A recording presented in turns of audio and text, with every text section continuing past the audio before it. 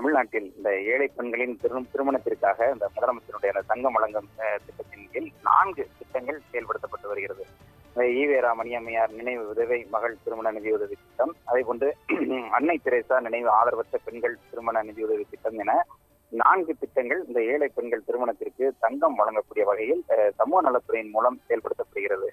இந்த திட்டங்களினுடைய பயனாளிகளுக்கு நிதியுதவியும் அஹ், எட்டு கிராம் தங்க நாணயமும் வழங்கப்படுகிறது. இதனால் இந்த இரண்டாயிரத்தி இருபத்தி இரண்டு இருபத்தி மூன்றாம் ஆண்டில் ஏழாயிரத்தி எண்ணூறு பயனாளிகளுக்கு தலா எட்டு கிராம் தங்க நாணயம் வழங்க திட்டமிடப்பட்டுள்ளது. இதற்காக அஹ், மொத்தமாக அந்த ஏழாயிரத்தி எண்ணூறு பயனாளிகளுக்கும் எட்டு கிராம் தங்க நாணயம் வழங்கக்கூடிய வகையில் சமூக நலன் மற்றும் மகளிர் உரிமைத்துறை சார்பாக அறுபத்தி இரண்டு புள்ளி நான்கு கிலோ அஹ், தங்கமானது கொள்முதல் செய்யப்படவிருக்கிறது. இதற்கான அறிவிப்பை தமிழ்நாடு அரசு வெளியிட்டிருக்கிறது.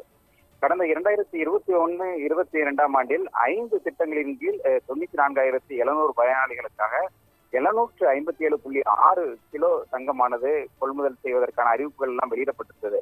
அந்த மூவலூர் ராமாமிர்தம் அம்மையார் நினைவு ஏழை பெண்கள் திருமண நிதியுதவி திட்டமானது மூவலூர் ராமாமிர்தம் அம்மையார் உயர்கல்வி உறுதி திட்டம் என மாற்றப்பட்டுள்ள நிலையில் அந்த பயனாளியினுடைய எண்ணிக்கையும் குறைந்திருக்கிறது. அந்த கொள்முதல் செய்யப்பட இருக்கக்கூடிய அந்த தங்கத்தினுடைய அளவும் குறைந்திருப்பது குறிப்பிடத்தக்கது.